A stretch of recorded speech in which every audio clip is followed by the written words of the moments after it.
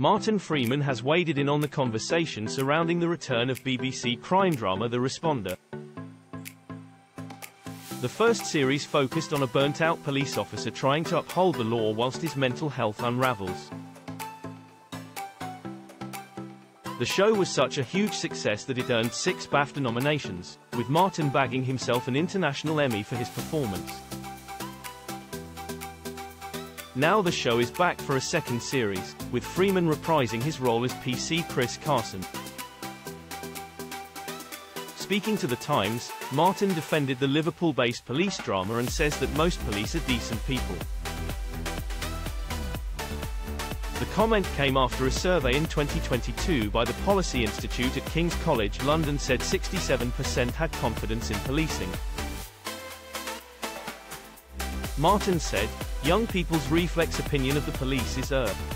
Go and live in a fascist country. I've always had a bit more of a nuanced idea about what the police were for, just trusted that most of them are decent people. What's the likelihood that they're all bastards? Not very high, he added, but would your street be better if they weren't there? Clearly what the police do not need is a pass, but they also don't just need a kicking. During season 1, PC Chris Carson is demoted to grueling night shifts but ends up getting tangled with the gritty underworld of Liverpool drug gangs. As he tries to uphold the law and move from one crisis to another, he also attempts to maintain his personal relationships whilst battling his mental health struggles.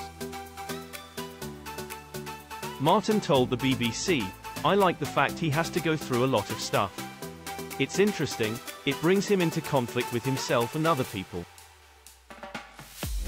The Hollywood actor is best known for his iconic roles as Dr. John Watson in Sherlock and Bilbo Baggins in the Hobbit trilogy. He also shot to fame when appearing in the rom-com Love Actually and Ricky Gervais comedy series, The Office. He also made headlines after announcing that he was eating meat again after spending 38 years as a vegetarian. Martin took on the diet when he was a teenager in 1986.